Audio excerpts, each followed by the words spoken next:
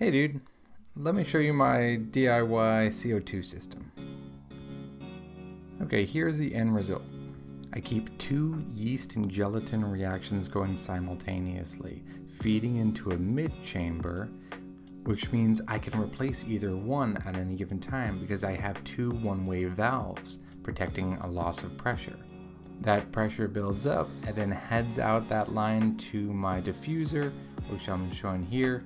Now, I've based this whole thing off of MJ Aquascaping's YouTube channel, which is amazing and you should definitely watch that. Now your biggest problem is going to be leaks. Here you can see a bubble building and then it leaks out. And then you can also see the mid chamber. If you hold it underwater, you can check for bubbles as well. That's another trick.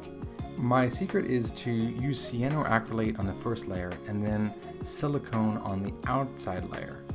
The super glue is a little more brittle and the silicone helps hold it in place. And I do put a silicone underneath as well.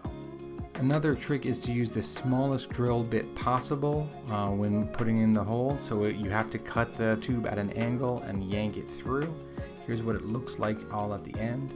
Now what I'll do is I'll put silicone along the lining on the inside so I'll never be able to open the bottle again. So those are my modifications. Check MJ's video for more detail. Now let's make some gelatin. So first let's start with three cups of water. Um, two cups are going into the pot and this is what water looks like pouring out. So we're making some super sugary gelatin so our yeast can slowly eat that and fart out CO2 for our fish tank. One of the three cups of water is going into a bowl so our gelatin can slowly dissolve in that. It doesn't dissolve well in warm water. MJ uses sheets of gelatin, I use powder, either one is fine as long as you don't ask where gelatin comes from. Now I'm using RO water instead of tap, which I wanted to avoid the chlorine, but it might actually be counterproductive. Anyway, um, add three cups of sugar into the pot, Yep, I recorded every scoop. So we're going to be just heating this water up. We're not trying to bring it to a boil. We're heating it just so we're going to be able to dissolve the sugar easier. Now for my favorite part, while the stove is on, you can just kind of poke the clumps and it's oddly satisfying.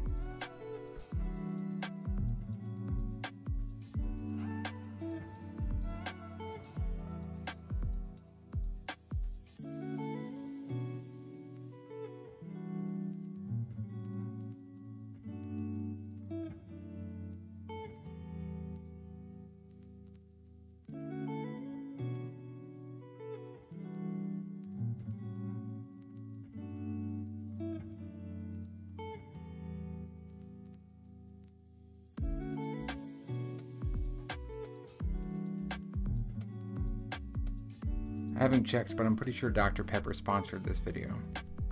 In case it wasn't obvious from the initial demo, I'm going to make a 2 liter bottle and a 1 liter bottle. I may eventually increase that so I have two 2 liter bottles. Now I'm just going to stir it up a little bit and kill the heat. Once we set this gelatin, we don't need to use it right away. We can anger our significant others by storing it in the fridge for as long as we need until our bubbles are ready for a replacement. This whole hobby is about learning patience. Don't melt your plastic bottle, let it cool. I'll fill the one liter bottle around a third and then dump the rest into the two liter